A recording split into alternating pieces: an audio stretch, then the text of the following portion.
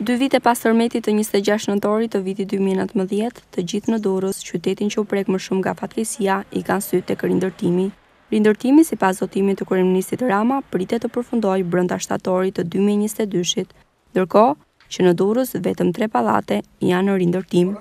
Shumë pallate me dëme DS katër janë ende në pritje të riforcimit, ndërkohë që puna nuk ka përfunduar ende tek pallatet me dëme DS një dhe DS tresh.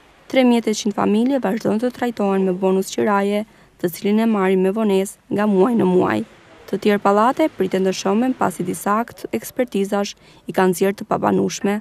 Në këto dy vite, banorët e prekur nga tërmeti kanë zhvilluar protesta të shumta pasi kanë ngelur pa zgjidhje për problemet e tyre. Kryeministri i vendit zgjodhi të përkujtojë sot dy vjetorin e tërmetit me anë të një postimi në faqen e tij zyrtare në internet. Sot jemi ngritur më të fortë e po ashtu mund të marrim frymë të lehtësuar për faktin se mijëra familje të goditura prej asaj fatkeqësie sot janë më mirë se sa përpara goditjes prej saj, shkruan ndër të tjera Rama.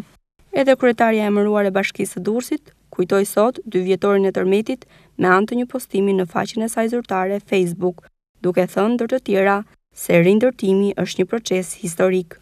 Sot, dy vite pas asaj fatkeqësie, pallatet janë rikonstrukturuar, shkollat dhe banesat janë ngritur më të forta e më të bukura se ato që ishin dhe mijëra familje janë rikthyer në shtëpitë e tyre, por puna vazhdon, rindërtimi është një proces historik, shkruan Sako.